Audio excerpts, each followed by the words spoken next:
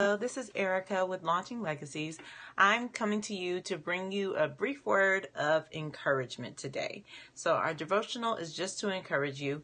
I'm going to be um, referencing a scripture that um, I love very much, um, and you probably have heard is very common actually. It's Isaiah 40 31, and I'm reading from the New International Version. It says, But those who hope in the Lord will renew their strength. They will soar on wings like eagles. They will run and not grow weary. They will walk and not be faint. And so some translations say instead of those who hope on the Lord, it says those who wait upon the Lord. Um, but whatever the translation, the concept is the same, and that is this that if you are on a journey uh, and you look to the Lord as help or as reference, as hope, as encouragement, you're going to find yourself strengthened. And so I just want to encourage you that you're definitely um, part of a journey because life is is as such. It's a journey. So as you are going through life, as you're going through the circumstances, the ups and downs, the disappointments and the encouragements, um, the the happy and the sad days, I just want to encourage you to wait upon the Lord. So put your hope in God. And as you go and put your hope in God, you're going to find yourself strengthened because that's what hoping in Him produces. And that's what this passage is saying.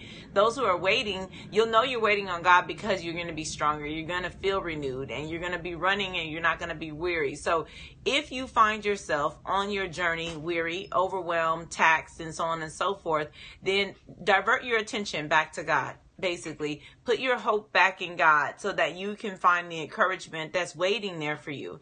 And I hope that you are encouraged, that you feel strengthened for the process, for the journey as you go forward, and that you know that you have everything you need. It's just a matter of finding and receiving, right? You have it what you need. You need to find it in God and receive it from God and let your strength be renewed day by day as you're going on the journey. So that's all for today. Just a one brief word of encouragement, and I hope that you understand and and and um, are really relying on the fact that we're praying for you because we are praying for you. We're praying that you're healing, that you're living well, um, and that you're growing every day. We're praying that you're encouraged through these devotionals uh, as we do them every day, but also challenged to look at your life, examine your position, and change your perspective if necessary. Otherwise, we're also hoping that you're praying for us and so we're praying for you that you're praying for us as well, and that you would continue in that prayer for us because we need your prayer. And you know, we find that we are more blessed when we pray for others. And so we encourage you to use us as an example. Just pray.